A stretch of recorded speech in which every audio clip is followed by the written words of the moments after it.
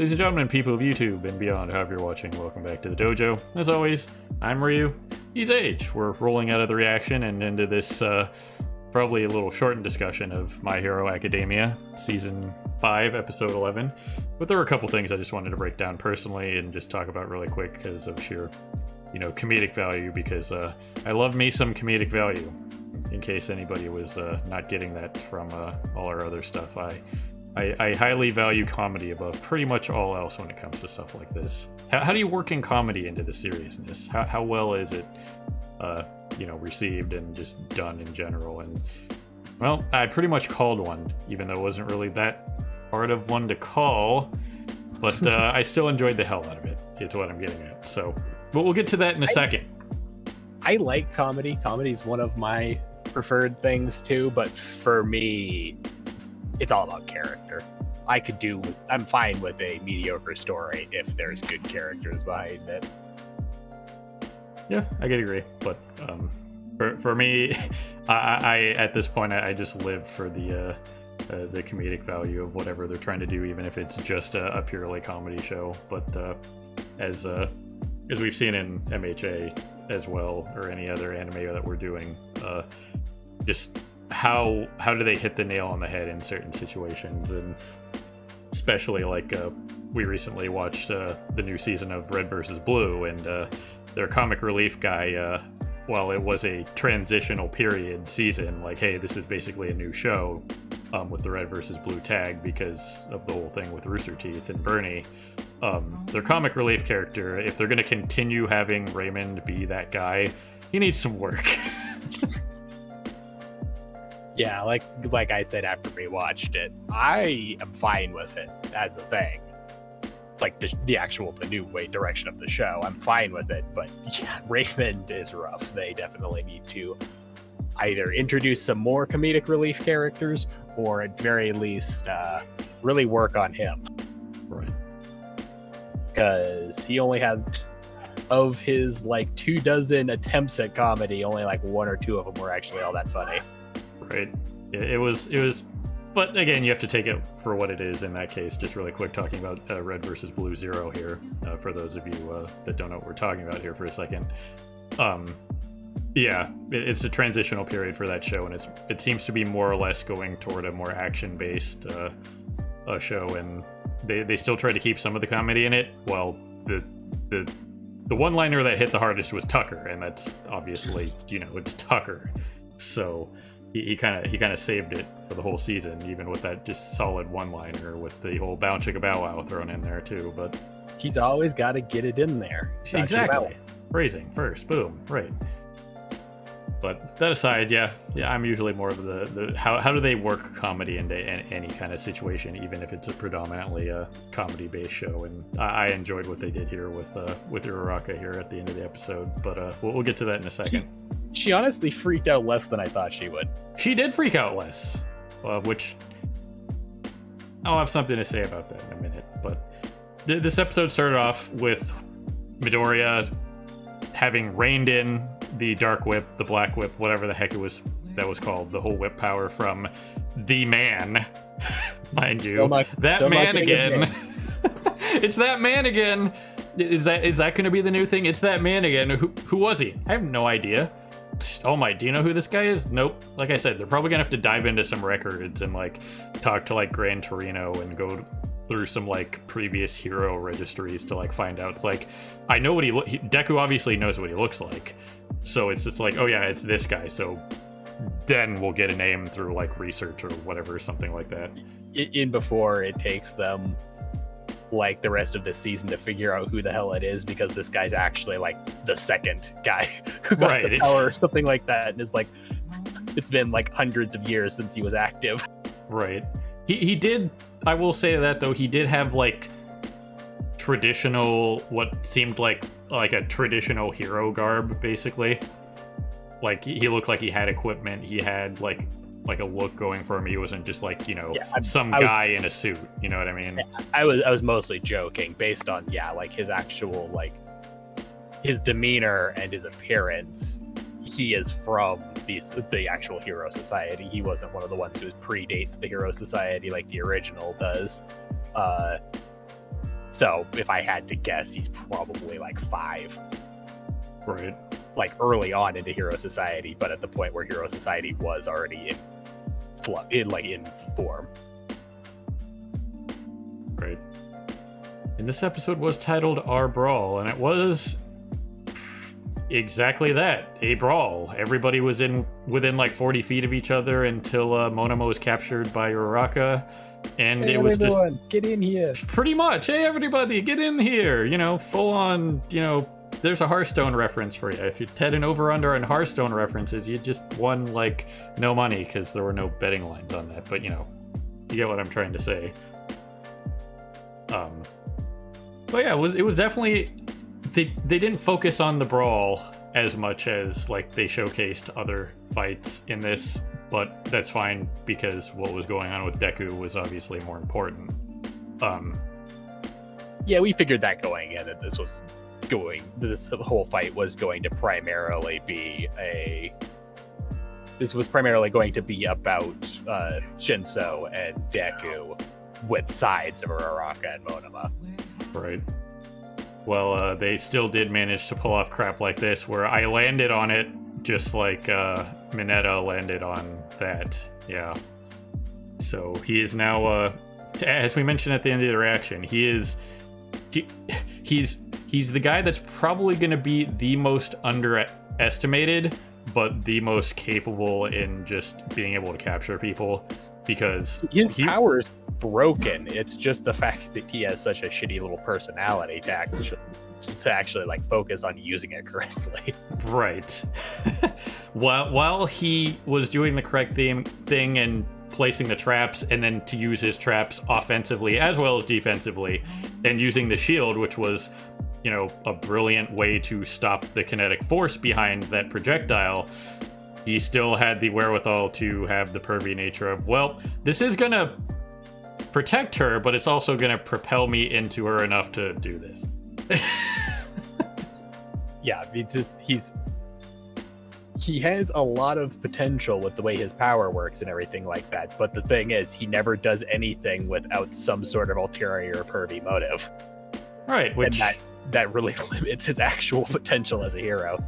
Right, so that that that that leads us to speculate if there's like no hot women around for him to save, is he gonna bother?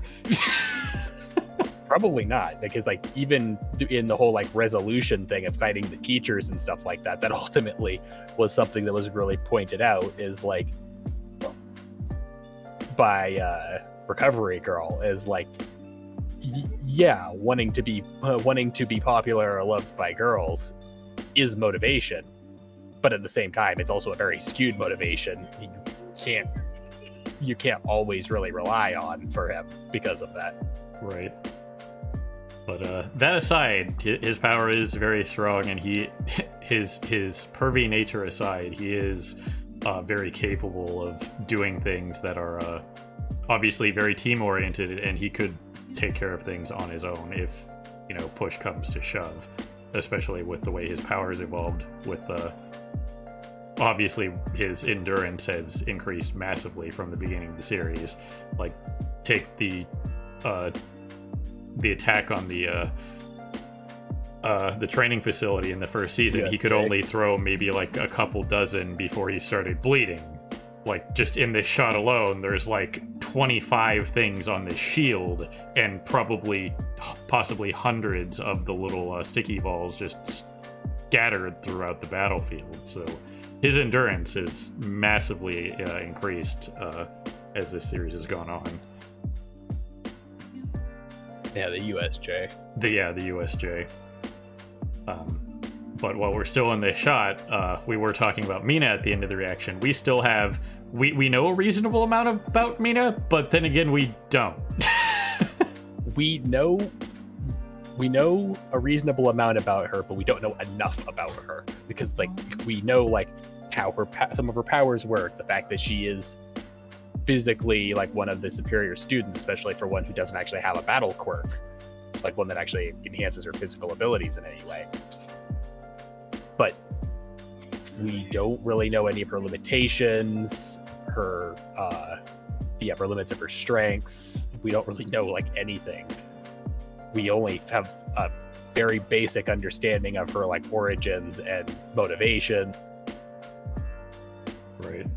She like she's right on that weird border of like she's still technically a supporting character, but we know a lot about her for being a supporting character.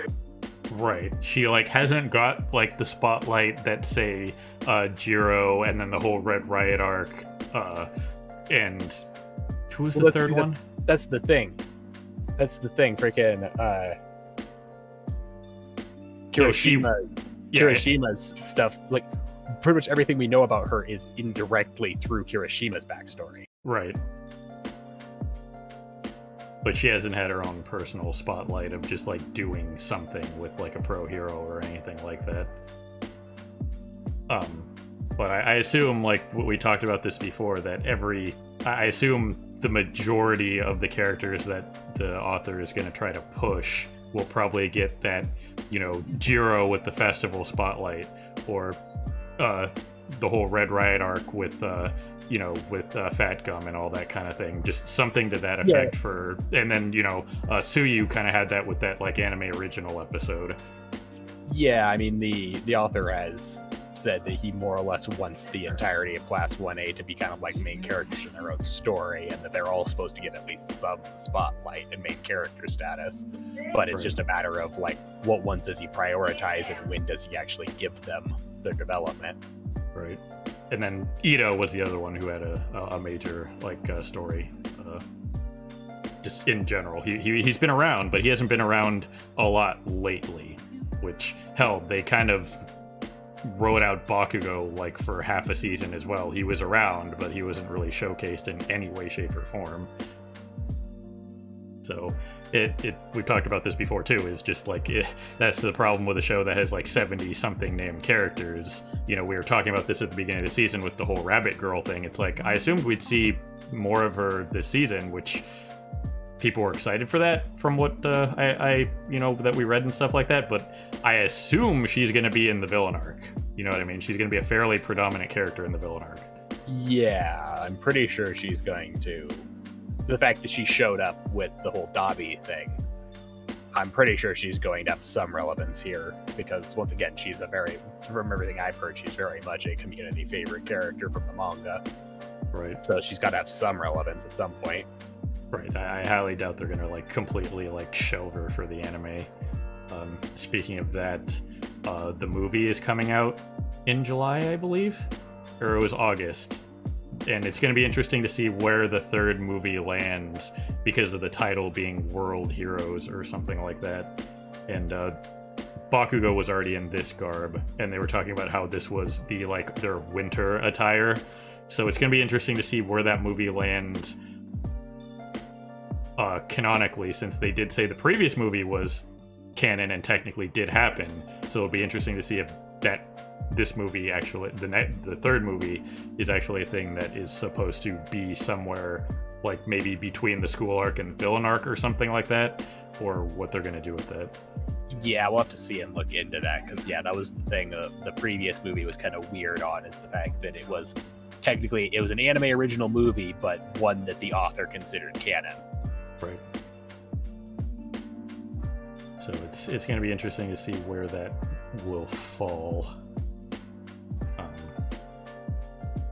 but yeah. Moving along, uh, Monoma did uh, refer to himself as a as a support, and that was pretty funny in and of itself. He had he did have the ace up his sleeve, which he did kind of like back. He barely backhanded uh, Midoriya like he he barely like it was just like a very glancing blow and uh just just being able to see uh the power of the double shot obviously how much harder that is. If just like a glancing blow like that turns into like something that literally knocks Midori out of the air that uh that double shot power on its own is pretty strong and that it's fairly telling to how much uh like Monoma can take of that power wise for his copy. It it would appear that he can almost basically do 100% of what they can do. Yeah. even if it does have the he did mention later that they there are like residual effects like if he made like that giant uh, nut bolt uh, just remained larger for a, a, period of time just because of how his uh, copy power works it just kind of like lingers or something so that's kind of a weird side effect that may come up in the future yeah it's basically how he explained it is even when he stops using the power it doesn't mean the power just disappears because he can only still manifest one power at a time. This does clarify that it's not the fact that he cues powers, though, but rather that he can actually have multiple powers stolen simultaneously. And it's just that he can only ever manifest one at any given time. Right so it's more or less kind of along the lines of what I was thinking with the whole like you know each each clock that he has just kind of shows off or potentially shows off because he was really trying hard with uh, Uraraka to misdirect like you have no idea how many powers I can copy because she assumed three and we still don't really know what the exact number is. Like he said, he could very well be just misdirecting with the three uh, the three clocks on his hands, but he had like three more on his belt. Well, the three on his belt were the three on his hand. He just put them on his belt after his initial pose off. Oh, okay. Um, that said, though, we do know he has his limit is at least four because poltergeist, size, double impact, and then he attempted to use uh, to use Deku's power, but it drew a blank. So that's four powers that he had at any given at any given time, even though Deku's didn't actually work for him. Right. And as he stated, his limit is apparently ten now, ten minutes now instead of five.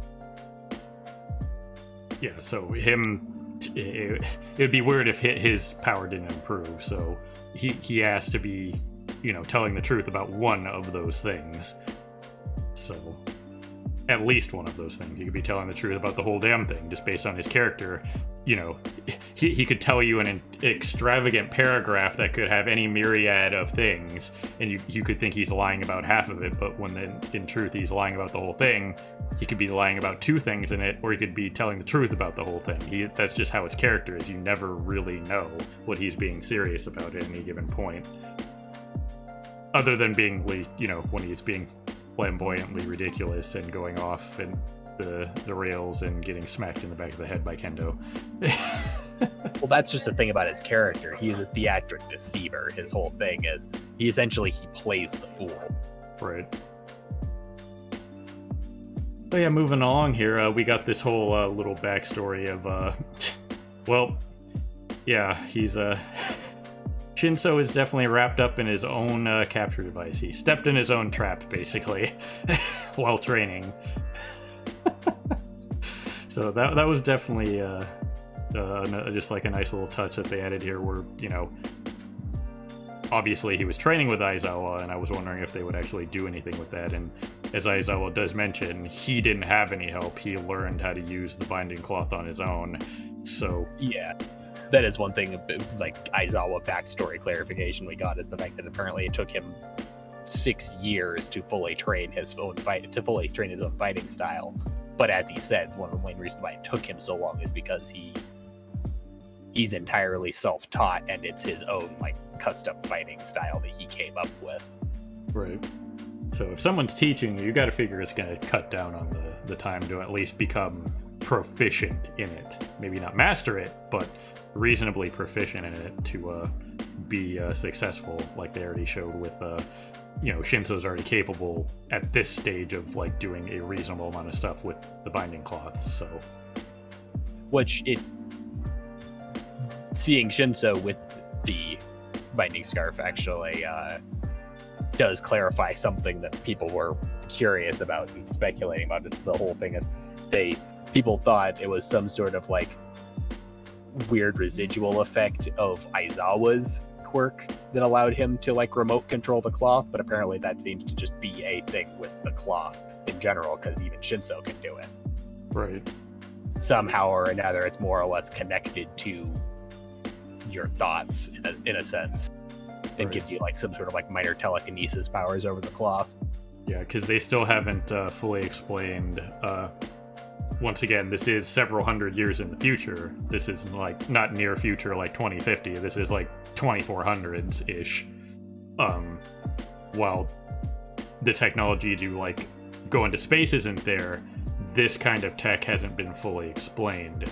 Um, Yeah, they yeah, they're technologically repressed when it comes to like overall societal technology and like major scientific discovery like space flight and stuff like that but they're more advanced when it comes to things relating to heroes and stuff like that because that's where pretty much all of their technological focus has turned is developing uh, tools for heroes to use because that's more or less where their entire society has shifted to is okay how do we as a society work around this concept of heroes right. basically everything has shifted to be hero centric So at some point, we're, we're gonna need like an entire like 10 minute segment of uh, Mei's uh, Baby Academia to explain all these things, even if it's just like a random short that's put off, uh, not in the show itself, because the whole uh, thing with May was awesome and really needs to come back. If that was a one off thing, I'm gonna be really sad. Because the comedic value was amazing, obviously, but just her just doing that as just like a general here's some facts for you kind of thing is just like a neat addition to the show in general. Since Yeah, like, that's her I- I- I, I really do hope My Baby Academia actually turns into a thing. So far, it doesn't seem like it is going to be a thing, but that would be a really welcome addition to the show, both just because it's more Mei, it's comedic, but then it's also, you know, actually giving you information about the stuff that they couldn't really, they wouldn't really be able to necessarily work into the episode itself without it being seeming super expository. Right.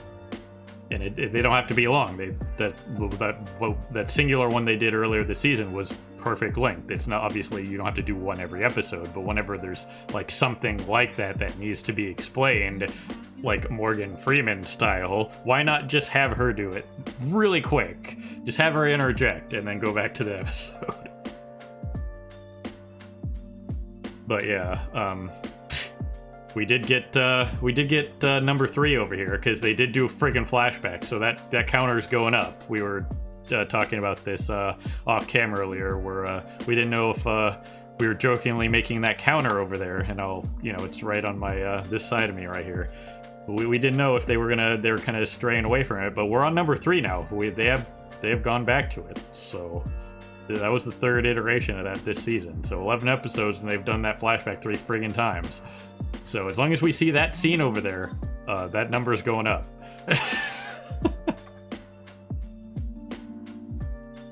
so it'll be interesting to see if we get anywhere near double digits by the end of the season. I doubt it. Uh, I'm gonna assume maybe five. Maybe we'll hit five. But my over under is five. if I recall correctly, season one, which is only a one cour season, showed it like five times. Right. Uh, and season two, I don't remember exactly how many it was in season two, but I'm pretty sure, if I recall correctly, by the end of season two, which was a two cour season, it was double digits already. Yeah, because when we were rewatching this uh, before the before season five started, uh, I didn't have the counter. Like I had the uh, like the uh, the Ryuji counter I had going for uh, P five with the the for real counter, but uh, it was still up there. so I- I'm thinking the uh, solid over under is five, especially if the second arc is going to be mostly villain focused. So the odds of uh, having that uh, flashback again for any reason will be uh, kind of whatever.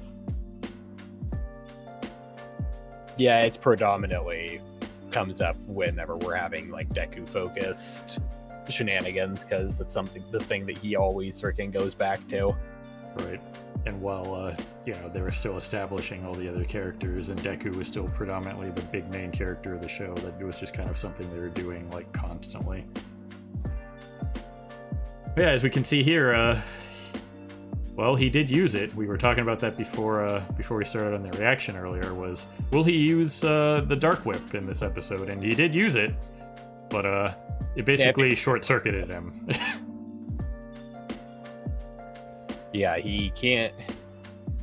He cannot reliably use the more advanced powers until he's at least most of the way done mastering just the basic power. because these these other quirks obviously take significantly take even more out of him than just using the basic strength enhancing. Right. So his uh, Swiss Army knife of powers is probably gonna have to uh, be on the back burner, especially depending on how frequently he like learns about a new one, because I wouldn't say that every single manifestation of a power is going to be like this where it just like happens and goes out of control and someone has to rein him in. He could literally just like have a dream about it and it's just like hey this is my power. You should totally try it. You know what i mean? Well, yeah, because now we have we're at the point of all the previous wielders are actively trying to reach out to him, and like the like that man said, uh, he just happened to be the first because Deku essentially called to him unintentionally. right. It's that man again. Oh man. Uh, it'll be interesting to see uh, what, what his deal is because i'm sure uh, for each wielder there'll be at least you know five to seven minute backstory for like what their deal was. Uh, other than just being that man previous wielder full avatar uh, full avatar cycle stuff And once again, I'm pretty confident that he's either like four or five on the uh, generational order. Yeah. Um, I don't know if we got. we- Did we ever see Aizawa kind of uh, using uh, the binding cloth, basically going full Spider-Man? Yeah. We did. Yeah. Okay. Want to do uh, since that was something that Shinso did do in this episode. He's basically going full Spider-Man with it. So uh, I didn't know if we Yeah, had seen that before or not. Kind of blanking on that myself. Uh, in the uh, exam against the teachers, he was he uses the. Uh, I believe a few other cases, he uses the binding cloth as basically a grapple hook. Yeah. Right. Okay. Um, it, it's kind of weird that this like shot right here just kind of reminds me of like, just like he, he. It looks like he's just like a Macy's parade balloon. You know what I mean? She's just like, all right, sh- this is the Uraraka parade, and here's my Monoma balloon and my Monoma float. I mean, essentially, that's what her power lets her do, though, because it makes them weightless. So they're basically just a balloon that she's dragging around. Right. I mean, it definitely makes it easier for her to uh, move, uh, like captured enemies from place to place. So that that was definitely a thing. Which uh, he was still doing his mind game shenanigans here, which props. And I, I guess there was no. Uh, if your quirk is usable while you're captured, I guess there was no rule against that because he did use it while he was captured. Yeah, I mean, they never really, they never stated one way or the other whether or not you could still use your powers while you were captured. It was just once you were in the cage, you counted as captured and were a point for the enemy team. Right. But they never said they never said one way or the other about whether or not you were allowed to still potentially interfere with the match from the cage if you could. Right. But uh, the other thing, I guess, that happened at the end of this fight here was uh, Uraraka making the correct choice and just trusting Deku to handle it and just go back and support the uh, the team as a whole because her return actually was uh, a reasonably big turning point in that brawl that was going on because she caught all of them off guard because all of them basically assumed that she would you know after she after she captured Monoma that she would go back and help Deku uh so she just kind of showed up and just RKO'd all of them off the board. I mean, she only actually caught uh, size, but uh, either way, yeah, her her showing up through the power balance out of whack because they all expect they all figured that she was just going to stick to Deku, and they were just abusing the fact that it's a three v two. So when it suddenly transitioned into being a three v three, it threw their whole plan off track and cause them to basically just chain lose. right. But yeah, rolling in on the end here. Um,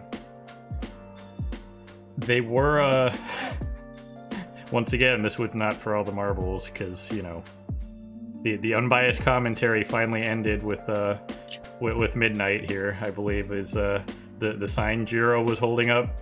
see if I can. Mina's pose. She just had to do it, I guess. But uh, yeah, there it is. Uh, yes. Well, what does this say? Midnight is committed to fair commentary. Vlad King and his biased commentary should be replaced immediately. Yes. well, since he was, you know,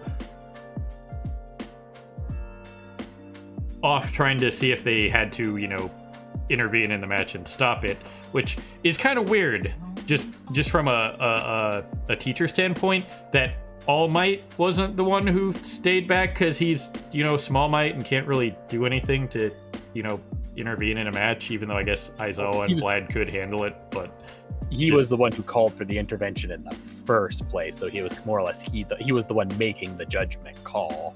So that's why he that's why he went. right. But yes, it was very much going to be Aizawa and potentially Vlad who actually stepped in in the event intervention was necessary. Right. But, you know, at the end of the day, you would think uh, Midnight would have been the uh, easiest person to just kind of like blanket stop the fight, just put everybody to sleep. but yeah, that is definitely one hell of a sign that she's holding up there. And uh, Aoyama is just kind of, hey, don't forget about me. I'm actually in this show back there. Because he hasn't really done much this season. No, he just sits in the background and twinkles. Pretty much, that's that's his job. Always twinkling. That's that's just what. It, oh, I I didn't notice that. Jiro and uh, Hagakure are holding up that sign. Yeah, I was actually just going to comment on that because I didn't know if you realized it or not yet. But I was thinking to myself, I was like, how is she holding that up from d- just way over here? Why isn't she in the middle of the sign? yeah, no, Hagakure also making her token appearance here because you know she's not allowed to actually be a character yet. right. Whatever's going on with her, and we've speculated about that in the early on in, in the season, whether that ends up being true or just red herring, we'll have to see. But I was just like, I was thinking to myself, why is she holding up that sign from just the freaking left side of it? What's going on here? but yeah, that that sure is Hagakure. She she exists, just like in that like ending shot. The Sugar Rush is standing behind All Might, like, yeah, I'm I'm still a character too. It's like, are you though?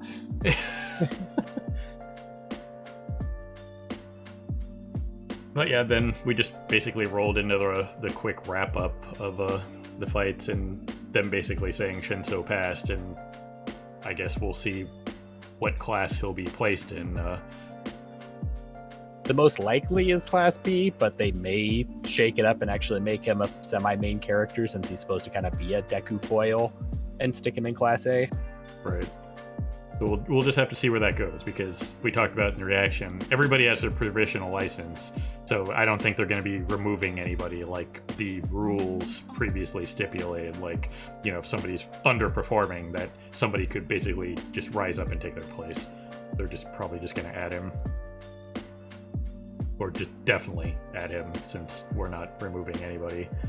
Um, Yeah, they they they're definitely adding him to the hero course. That was the whole thing of whether or not he passed this was whether or not he would move into the hero course.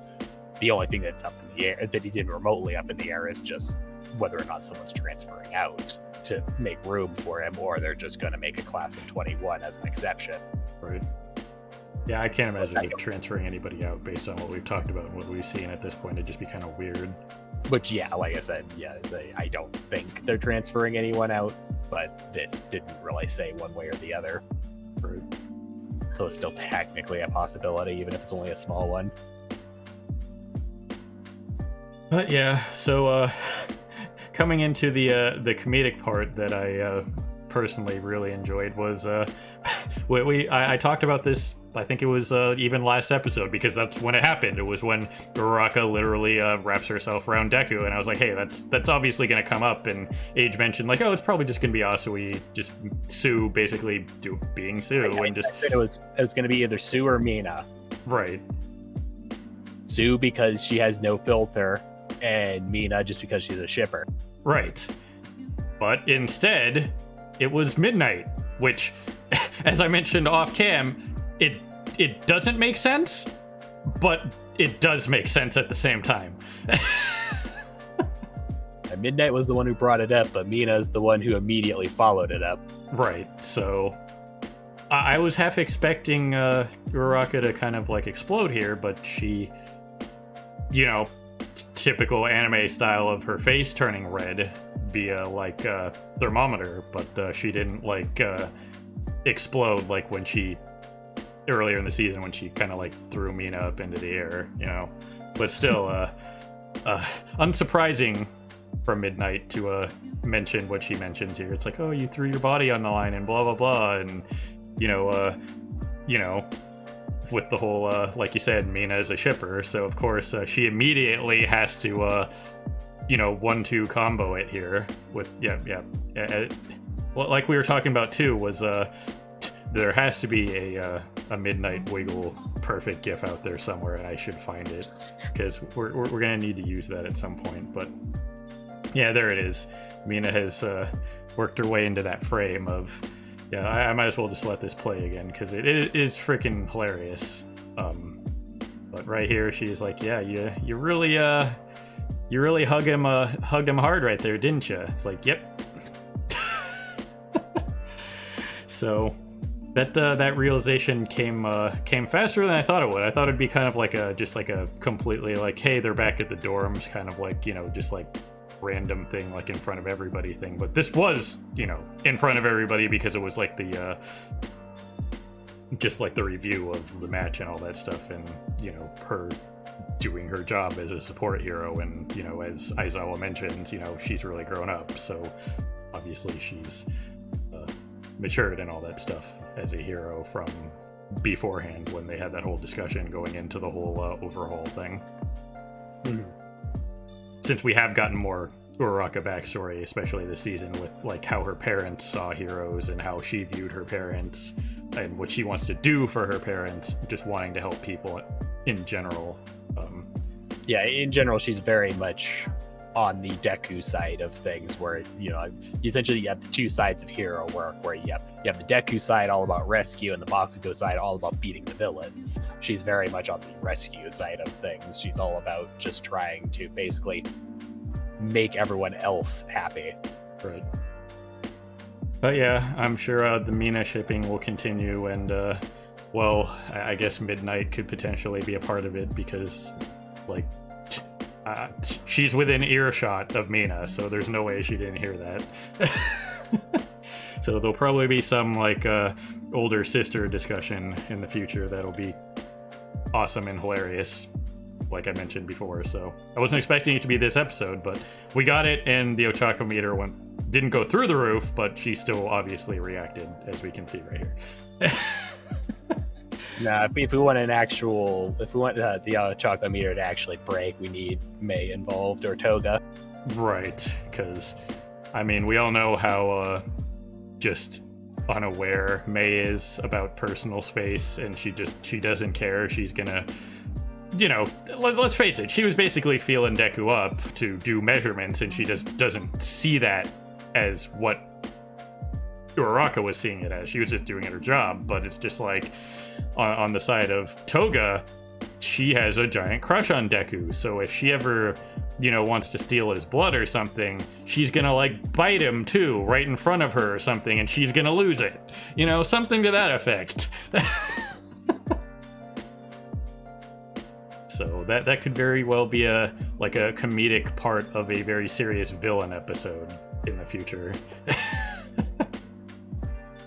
Yeah, in a sense, we have we in a lot of ways we basically have three very different relationship dynamics, and then we got Toga, who's Yandere, we have Uraraka, who's Dere Dere, and Mei doesn't really fit into any of the specific Dere tropes per se, but she's just more or less the I'm a romance inter- romance option, but I'm not really aware I'm a romance option style character. Right. That, that's just how she is, but it, the outward perception by third parties, especially third parties in Uraraka's case, makes it look different than it, you know, actually is. Well, I mean, Toga would also take it like that. She just hasn't ever had any exposure to Mei. Right. Like if if the if there's ever that scene, I'm sure it'd be a the yandere would intensify on Toga's side. Like, what are you doing with my uh, with my Izuku? That kind of thing.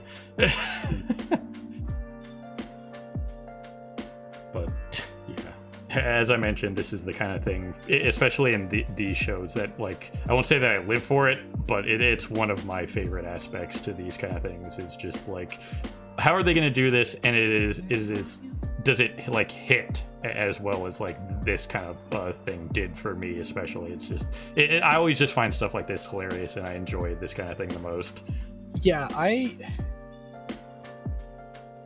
so i have in a sense i kind of have mixed feelings about anime romance like i really like rom-com in general doesn't matter what it is but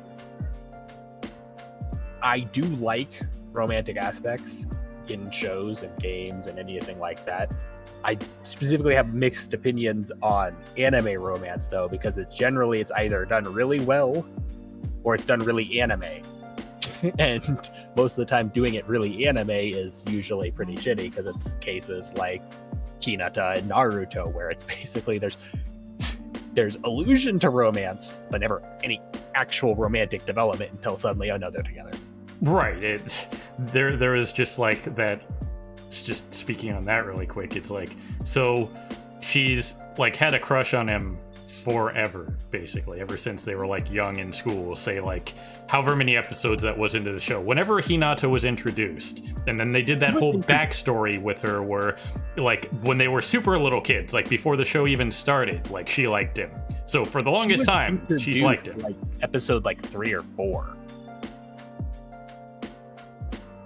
but yeah, I mean, she was introduced fairly early on. You're right. It's just been a long time since I've actually seen that show, but I still remember the majority of like just the the writing and how they did it.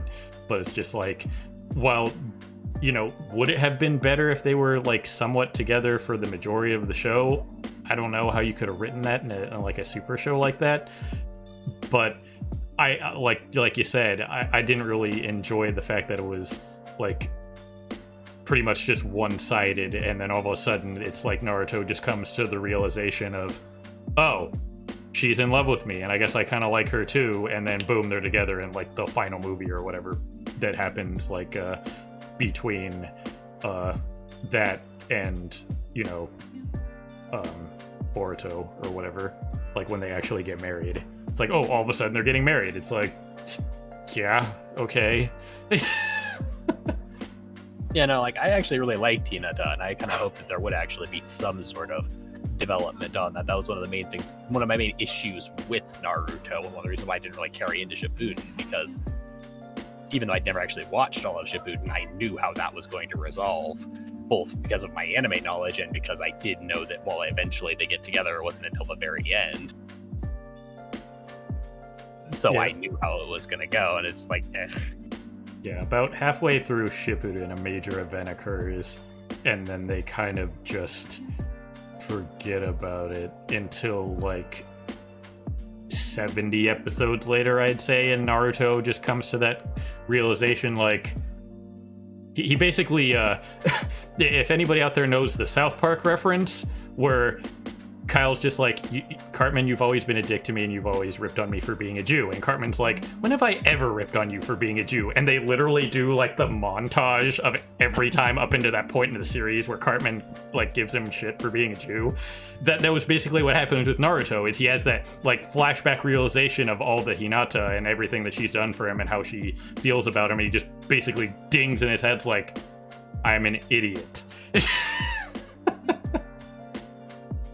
yeah, it's overall that's my issue. Is like I do actually really like romance plot lines in shows. It's usually one of the main like driving forces for characters for me.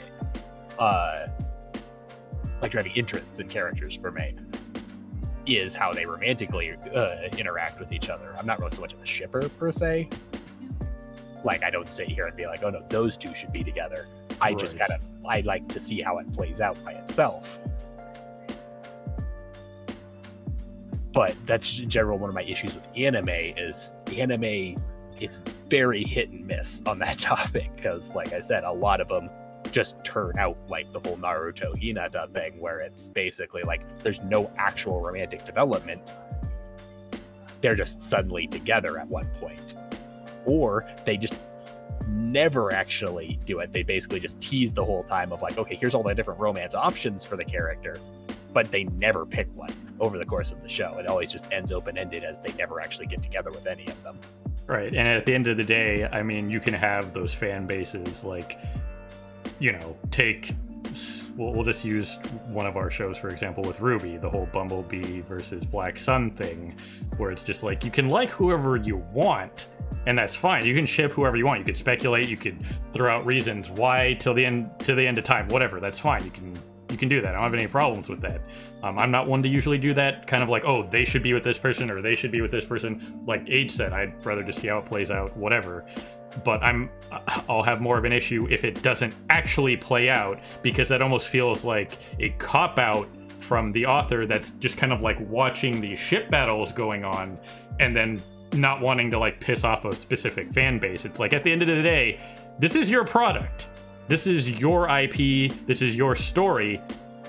While that stuff will be going on in the background, one would assume that, say, in this case, say, for sake of just how this is going, say Deku and Ochako get together. Not surprising, but do pick one. You know what I mean?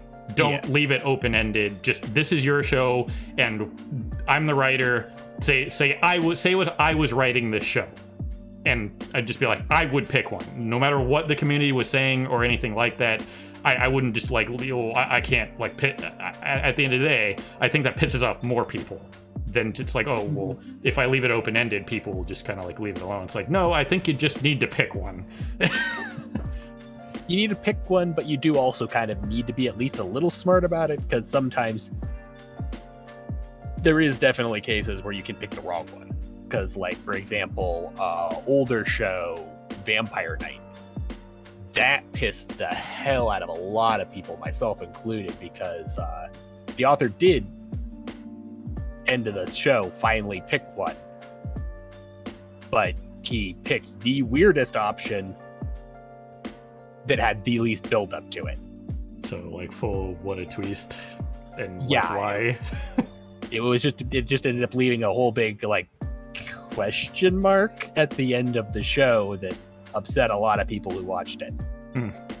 Yeah, I can't speak on that personally because well, I've heard of that show. I've never watched it or know really anything about it. So I, so I liked it back when I very first watched it, primarily just because it was literally one of the first anime I ever watched. But it really was not actually that good of a show. It was more or less just I was ignorant to anime in general and just was kind of fascinated by pretty much everything that I was watching at that point. In retrospect, a few years later, going back and rewatching it, I was immediately like, oh, why was I into this? Right.